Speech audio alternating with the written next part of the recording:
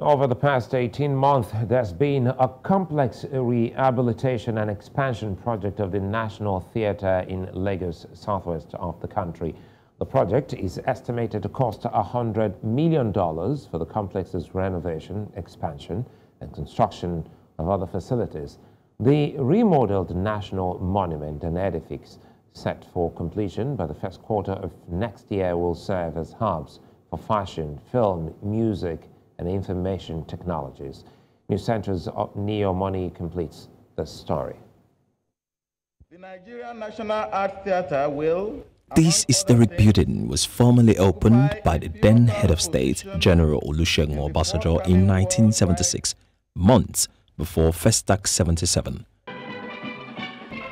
Graced by artists like Stevie Wonder and Mighty Sparrow amongst others, the multipurpose national complex hosted about 16,000 participants for the month-long festival which celebrated African culture and showcased its music, fine art and literature to the world, not forgetting drama, dance and religion, making it the largest pan-African gathering.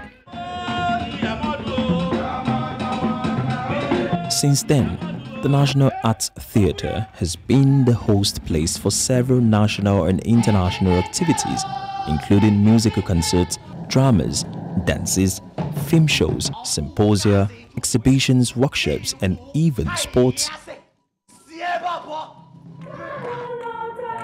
The curtains, however, closed on rehearsals like these at one of the country's prime stages as it became a shadow of its former self.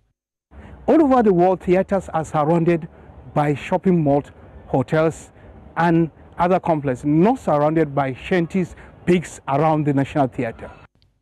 Intervention by the Central Bank of Nigeria and the diverse set of stakeholders seeks to change the narrative as renovation and expansion are ongoing. This project is costing the Bankers Committee, by, by our last estimate, about $100 million. A lot of um, work on the environment is going on, dredging, reclamation, making sure that the water islands and everything are all put in place. The greatest beneficiary of this project, apart from the generality of Nigerians, are the youth who will benefit from the virtual spaces, uh, the clusters that will come, creative, entertainment, etc. That's important. The first phase of rehabilitation has been completed as it recently hosted the United Nations World Tourism Organization and the federal government of Nigeria conference. 44 hectares that have been devoted to come out the four verticals. These are creative hubs in music, in fashion, in IT and film that will be used to train, retrain, and also to create, to facilitate creative processes. We also have a, a rail line that runs across. So it's going to aid human traffic movement here and out of this place. By the time President is about buying out by May next year, he would come again and now rec and recommission not just the National Arts Theatre, but the entire, the entire um, edifice.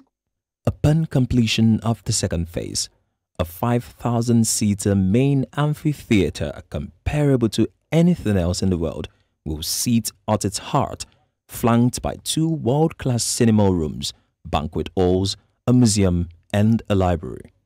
The military hut-shaped monument will be one of the best masterpieces of Nigeria and a major Lagos attraction with a warm welcome at the entrance to all from Queen Amina.